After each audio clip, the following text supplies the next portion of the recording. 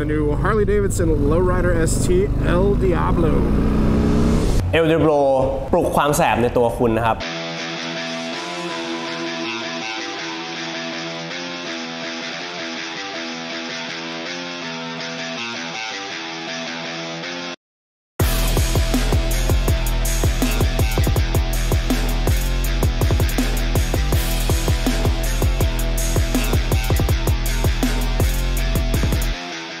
คนคงอยากจะรู้แหละว่า El Diablo เนี่ยมันมันคืออะไร El มันจะใช้เหมือนคำว่าเหมือน the the Diablo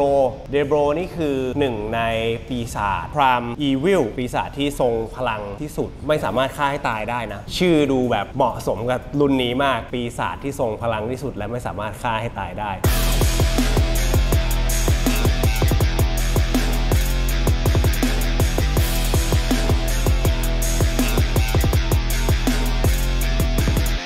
El Diablo นะครับ เป็นหนึ่งในซีรีส์ของ The Icon Collection ทำมาเพื่อฟื้นคืนชีพฮาร์ลีที่เป็น iconic ในแต่ละยุค คันแรกที่ออกมาจะเป็น Electra Glide Revival Touring สีฟ้าขาวทำออกมาคือเหมือนรำลึกถึงเจ้า Electra Glide ปี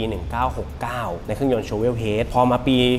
2022 จะมี e l d e b r o นะฮะ ออกมาอีกตัวเพื่อทำรำลึก FXRT Sport Glide ปี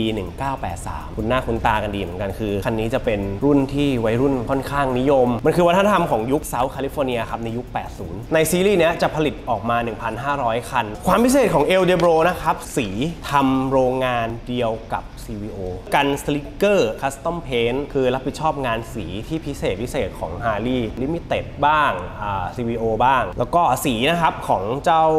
r o y d e r ST e l d e b r o เนี่ยมันจะมีชื่อสีของมันอยู่ก็คือ สีพื้นน่ะมันจะใช้สีว่า e l d e b r o Bright Red เติมเต็มด้วยสี Bright Red Sun Glow ก็คือเป็นลายเส้นสีแดงนี่แหละ พร้อมเลเยอร์สี e l d e b r o Dark Red อีก แล้วจบด้วยนะฮะ เป็น Dark Red Pearl ที่ค่อยๆ แบบเหมือนเฟดลงให้รถดูแบบมีมิติมากขึ้น แล้วก็จบขั้นตอนสุดท้ายก็คือ e l d e b r o Dark Red Metallic ก็คือใส่เกล็ดเข้าไปอีก นอกจากนี้นะครับก็จะมีลายพิเศษ ซึ่งมีชื่อฟอนต์ว่า Devil Horn ก็คือเป็นฟอนต์ที่ออกแบบมาเพื่อตัวนี้โดยเฉพาะ จากที่ผมพูดไปว่าเกี่ยวกับสีมันมีหลายชั้นมากเลยกว่า มันจะออกมาผ่านกรรมวิธีเยอะมาก เพื่อให้เป็นรถที่พิเศษสำหรับลูกค้าจริงๆ 1,500 คันอะขี่ปุ๊บเป็นลายเซ็นของตัวเองเลย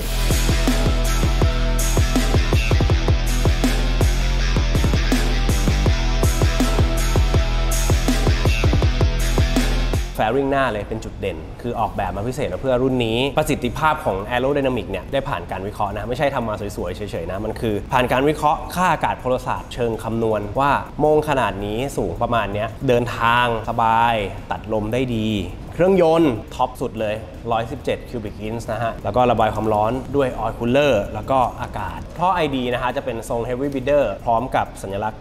117 มาที่ตัวกรองเลย ท่อไอเสียโดดเด่นเหมือนกันก็คือเป็นทรง shotgun shotgun ก็คือเหมือนปืนลูกซองนะ2 ออก 2 ในส่วนของชุดหน้านะครับ ก็จะเป็นโชค upside down ดิสเบรกคู่ ล้อแม็กหน้าขนาด 19 นิ้วและหลังขนาด 16 นิ้วนะครับ ไม่มียางใน กระเป๋าฝาข้างล็อกได้ แล้วก็สามารถปลดออกได้อย่างรวดเร็ว ไฟเบรกท้ายแบบ LED แล้วก็ตัวนี้จะมีช่องเสียบสาย USB นะฮะสำหรับชาร์จแบตโทรศัพท์มาเป็นอุปกรณ์พื้นฐานเลยที่ตัวรถ ระบบ speaker แล้วก็ลำโพงที่ติดมาให้จากโรงงานเลย ขี่ไปแบบฟังเพลงสบายๆเลยนะฮะ ก็ option จัดเต็มขนาดนี้ผมก็ขอแสดงความยินดีกับผู้ที่ได้ครอบครองด้วยแล้วกัน คุณคือหนึ่งใน limited ใน 1,500 คันทั่วโลกยินดีด้วยจริงๆครับ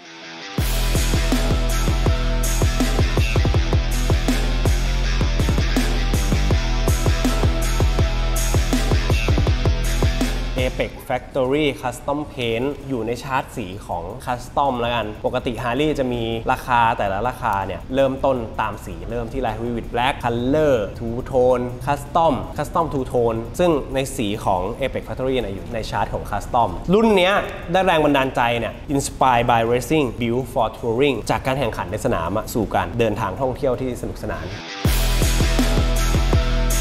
สีเนี่ยอย่างที่กล่าวไป มันได้รับแรงบันดาลใจจากสนามแข่งฮาร์ลีย์เนี่ยทุกคนอาจจะเข้าใจว่าเป็นรถขี่ touring สบายๆ เดินทางนะ แต่คือจริง ๆ แล้วฮาร์ลีย์ผ่านสนามแข่งมาเกือบทุกรูปแบบเลย ไม่ว่าจะเป็น board tracker board tracker คือการแข่งขันในสมัยก่อนเลยที่เป็นเวโลโดมแล้วกันวิ่งกลมๆ วนซ้ายอย่างเดียว แล้วก็มาที่ enduro ขี่ Pikes Peak ขี่สนาม flat track คือ hill climb คือแข่งขึ้นเขาในยุคนั้นอะการแข่งขันมันนั้นอาจจะยังไม่มี drag racing ใช่ไหมมันก็มีแข่งแบบแค่วิ่งขึ้นไปบนเนินแล้วก็นะฮะจะเป็น drag racing drag racing นี่ก็ได้อันดับโลกหลายคันเหมือนกันครับ ล่าสุดเลยก็คือ circuit road racing การนำเอาฮาร์ลีย์เนี่ยไปวิ่งใน circuit นะเทโค้งแบนโค้งเข่าติดพื้นเลย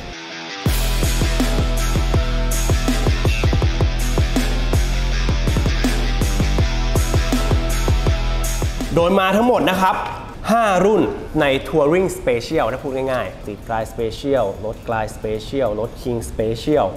Ultra Limited แล้วก็รถไกร Ultra